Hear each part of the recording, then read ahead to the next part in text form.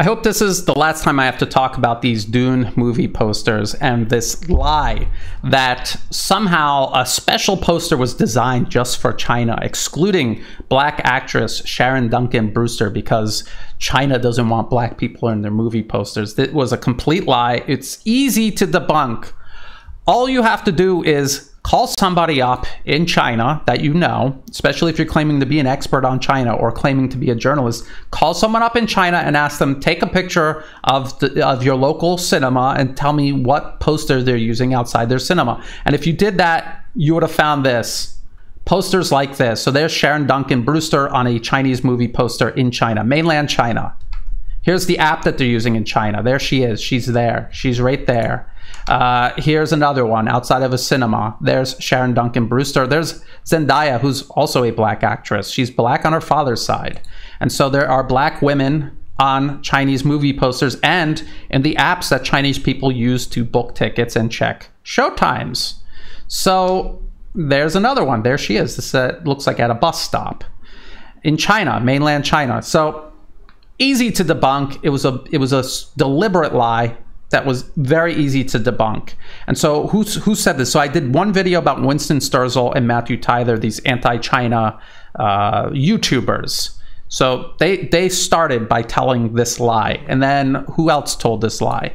Uh, there was the China Africa project. They repeated the lie verbatim. They even they even said that they did a Baidu image search. That's how they figured this out, which is exactly what Winston Sterzel and Matthew Tye said.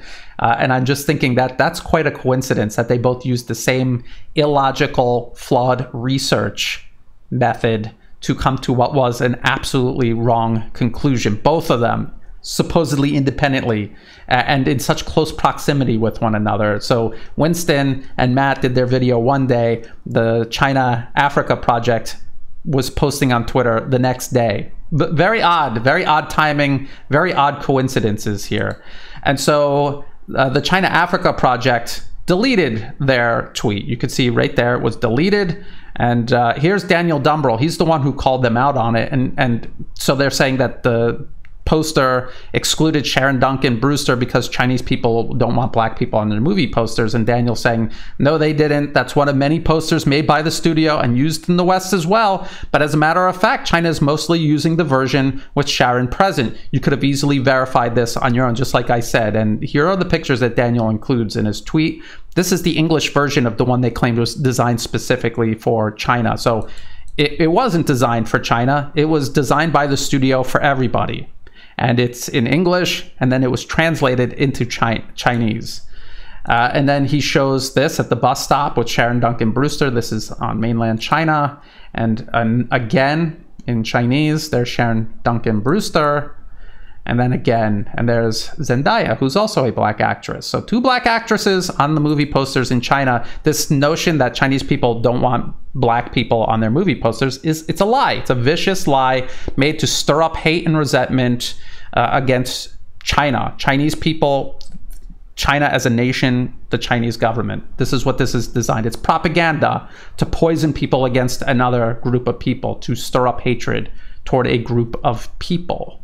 Now, who else is telling this lie now? So that that was all in the span of two days, and then uh, now, just recently, CAIR. So this CAIR is the Council on American Islamic Relations, and this is a, a fake uh, Islam interest group in the U.S. They they play deliberately so. They play the villain to the Islamic, the Islamophobic industry in the U.S. It's like professional wrestling. They they do this to keep the war on terror going, and by doing so, they're able to justify wars, massive investments in the arms industry, and in all kinds of ways of controlling the population uh, all across the West.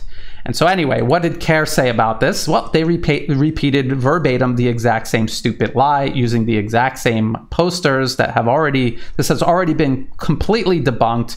And they're saying it's bad enough that American corporations have censored books, news sites, social media platforms, and even the Bible and the Quran to accommodate China, said CAIR National Communications Director. The removal of Sharon Duncan Brewster's image from the Dune poster in China creates the impression that an American company is now censoring the very appearance of black women to satisfy its own racist misconceptions about audiences in China. Black Lives Matter. What? What a joke. And we already know that this isn't true, that the movie poster used in China features Sharon Duncan Brewster. We know that. So this is a lie that CAIR did absolutely no fact checking on and just rushed to put out there. Uh, after Winston and Matt already retracted their claim, and after China Africa Project deleted their tweet, and then and then they say, as they say, fear is the mind killer. So they just have this movie quote that they took from Dune, which makes the way they use it makes absolutely no sense. So this is just uh, idiotic, basically. Uh, in a marketing push for audiences in China to see the science fiction epic, there is little evidence of Sharon Duncan Brewster, a British actress of Tr- Trinidadian heritage. And they're citing The Times. So The Times repeated this stupid lie days after it was already retracted by the people who told it first. And then here is the Daily Mail. A black act- British actress, uh, D- Sharon Duncan Brewster, who has a major role in Hollywood film Dune, was reportedly removed from the poster released for audiences in China. Now, these are supposed to be real journalists, the, the Daily Mail, the Times. Don't they know anyone in China that could have fact checked this for them? Could have t- taken a picture of the movie posters being used to promote the film in China? And then they would have realized this was stupid and they wouldn't have printed it. Now, what's hilarious is that uh, I had to use Wayback Machine to find the Daily Mail article because apparently the the day they did this, they did this a couple of days after Winston and Matt told this lie and then retracted it. So then the Daily Mail published this, but then they almost immediately seem to have deleted it, and you could only find it on Wayback Machine. But you could still see the CAIR tweet promoting it. So so here, the exact same posters, the exact same stupid lie, and they did absolutely nothing to fact check this this lie that they helped spread. And here's the Daily Mail tweet, which is actually still up. So I maybe it's just me. I can't can't click on the Daily Mail article. Maybe it's still up. I don't know. And here's the Times. Their article is still up. So again, just look at the date, October 26. Uh, Hollywood removes black actress from Dune poster in China an, an absolute lie. She's she's in almost I haven't actually seen a poster from China where she's not in it. Let let me tell you what happened here. On the exact same day, all of these supposedly independent uh, groups, people, YouTubers, uh, newspapers, on the very same day, they all decided to tell this lie. All at the same time, they decided we're going to spread this lie about uh, this movie poster or or they thought it was true and they didn't bother to fact check it. And they they were someone somewhere sent them this information and they decided they were all going to do something on it. And so Matthew Tye and Winston Sterzel because they're they're just loudmouths on YouTube there's no process that they have to go through. They could just shoot their mouth off and repeat this on the same day they they got the email or they saw it wherever they saw it. Uh, for the China Africa project doing it the next day, uh, it's hard to tell why they waited a day. Maybe there's there's more of a process, or they had to slot it into scheduled posts they already had uh, waiting queued up. And then, of course, for the Daily Mail and the Times, when they see something that they want to spread, first they have to write the article which takes a little while. Then they have to have it edited and then they have to have it fit into a schedule where there's other content already scheduled to be published. So this is why you saw this like drip drip drip effect where you saw it come out from matt and winston on the first day and then china africa project the next day and then these newspapers a couple of days later. Because there's just this delay in in the process of getting content out. But what does that mean? That means that on the very same day or virtually the same day, they all decided to tell this lie at the same time. And they, they, what is their source? They never really tell you what their source is. Matthew Tye and Winston Sterzel said they did a Baidu search. So this is like uh, China's version of Google. They did an image search on it, and they looked at the movie posters for Dune, and they they claim this is how they came to their conclusion, which is not is not oh, the way you do research. If you want to know what movie posters they're using in China, you ask someone in China to tell you what movie posters they're using. It's so simple. Uh, but you could dismiss that. You could give them benefit of the doubt. They're not professional researchers. They're, they're just loudmouths who don't like China and they say bad things about China. So you could give them benefit of the doubt that they don't know how to do real research. But what is the China Africa Project's excuse? Why didn't they fact check it? Why didn't they ask someone in China? They're, they're experts about what China's doing in Africa and they don't even know what's going on in China. Uh, so between that and the very unethical way they just deleted it and didn't admit that they they spread this, they helped spread a lie that would foster hatred among Western audiences against Chinese people. They didn't apologize for it. They didn't officially acknowledge that they screwed up, and so uh, it's very hard to take them seriously as as some sort of research organization. And then the Daily Mail and the Times. These are newspapers. They're, this is the only thing that they're supposed to do is fact check things and report report the truth to people. And their report came out days after this lie was being told, and people had already retracted it, and yet they decided it was still fit for print.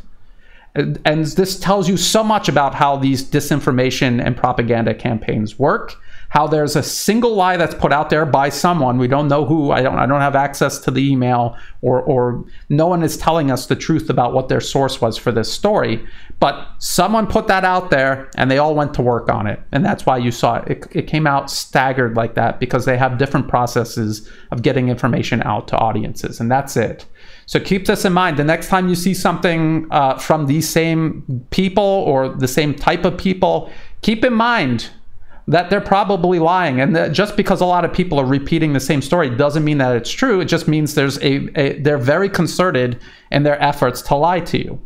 Just think back to 2003 and all of the lies about weapons of mass destruction in Iraq.